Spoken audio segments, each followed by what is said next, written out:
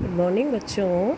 आज का हमारा काम, आज मैंने लिया है आपके लिए रिवीजन वर्क पुनरावृत्ति कार्य।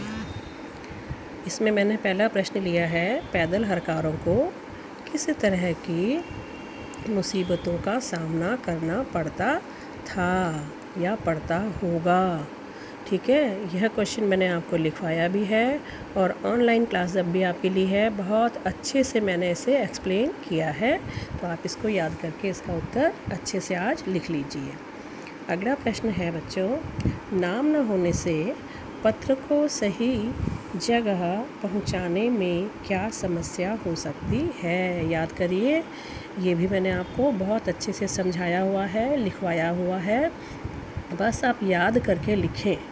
ठीक है? नकल ना मारना बिल्कुल भी। आपका रिवीजन है प्रैक्टिस बार बार करिए। तीसरा प्रश्न है, इला कितने साल की है? ठीक है? अगला प्रश्न है बच्चों, कुमाऊँ में मकर संक्रांति को किस नाम से मनाया जाता है? आपने पाठ पढ़ा है, मैंने समझाया है, इसका आंसर भी आप लिखेंगे। नहीं आता तो पहले याद कर लीजिए, उसके बाद लिखिए।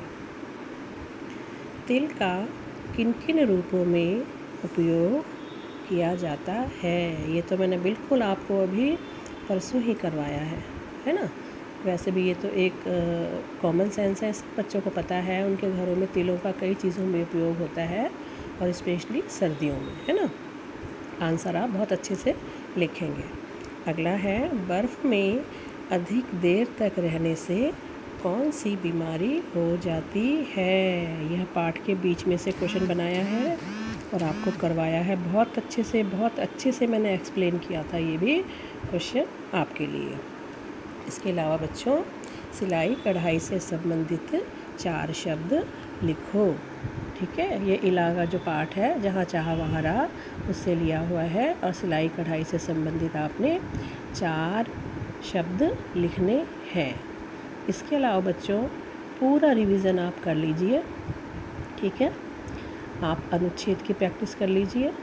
पुस्तकें हमारी मित्र हैं, या मैं, या जब मुझे डर लगा था, और जितना भी मैंने ग्रामर आपको, जितनी भी व्याकरण में आपको मैंने चीज़ें करवाई है, संज्ञा है, सर्वनाम है, क्रिया है, विशेषण है, क्रिया विशेषण है वाक्यांश के लिए एक शब्द है, पर्यायवाची है, शब्द अर्थ है, समानार्थक शब्द है। आप याद करिए, जितना कुछ मैंने अभी तक आपको करवाया है, वो सारा का सारा आपको याद करना है। प्रार्थना पत्र को बहुत अच्छे से लिखिए। इसके अलावा एक अनुच्छेद भी आएगा, चाहे वो पठित गद्यांश हो और चाहे वो अपठित गद्यांश हो। ठीक है बच्चों? तो ध्यान से आप पेपर करेंगे। आज का पेपर आपका हो रहा होगा तो आपको प्रैक्टिस उसी से हो गई होगी। ठीक है? तो चलिए शुभकामनाएँ कल के पेपर के लिए आपके लिए। ओके बच्चों।